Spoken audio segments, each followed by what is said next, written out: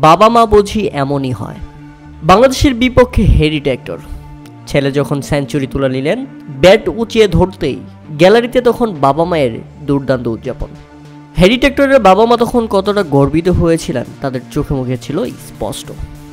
এরপর Harry Tector যখন সর্বশেষ একশো চল্লিশ রানের দুর্দান্ত ইনিংস খেলে ফিরছিলেন, তখন হাততালি দিতে দিতে ঠিক এভাবেই কেঁদে ফেলেছিল তার মা।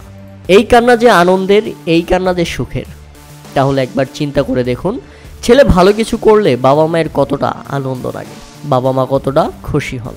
তাই তো নিজের সেঞ্চুরিটাও বাবা মায়ের জন্য ডেডিকেট করে দিয়েছেন হ্যারি টেক্টর। এদিন বাংলাদেশের বিপক্ষে দ্বিতীয় ওয়ানডে ম্যাচে একশো বারো বলে একশো চল্লিশ রানের বিধ্বংসী ইনিংস খেলেন হ্যারি টেক্টর। আর এই ইনিংসের পর আইরিশ মিডল অর্ডার ব্যাটসম্যান হিসেবে সারা বিশ্বের নজর কেড়ে নিয়েছেন তিনি। প্রশংসার জোয়ারে ভাসছেন সামাজিক যোগাযোগ মাধ্যমগুলোতে। যদিও শেষ পর্যন্ত জিতে গেছে বাংলাদেশ।